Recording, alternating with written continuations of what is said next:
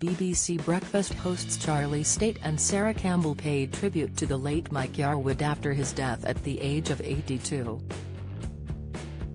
Mike was well loved in the 1960s and 70s for his impersonations of public figures and there were many who wanted to pay their respects.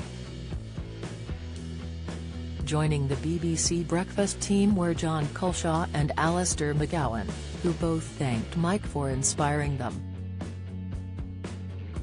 However, as they both spoke about Mike, BBC Breakfast noted the channel had broadcast an image of Lionel Blair instead of Mike.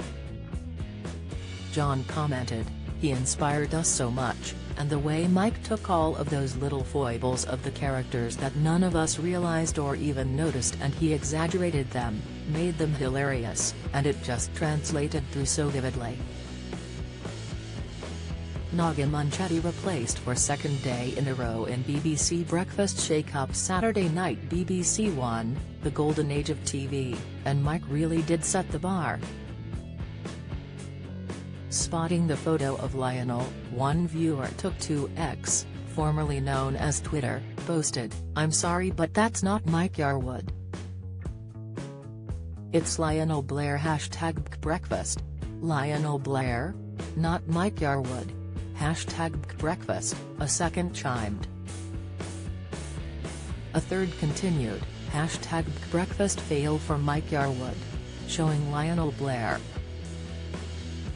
Someone needs coffee. Or hashtag Specsavers. Don't miss.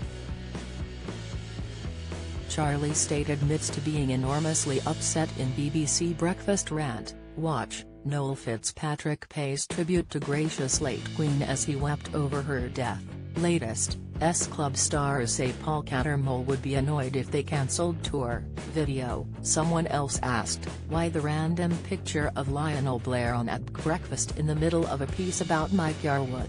Or have I missed something? Another tweeted, I'm pretty sure Lionel Blair wasn't Mike Yarwood.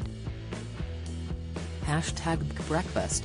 Mike's death was confirmed by the Royal Variety charity on Friday in a statement which read, he leaves behind an immeasurable void in the entertainment industry. Mike Yarwood quickly rose to prominence for his exceptional ability to mimic the voices and mannerisms of countless celebrities and public figures.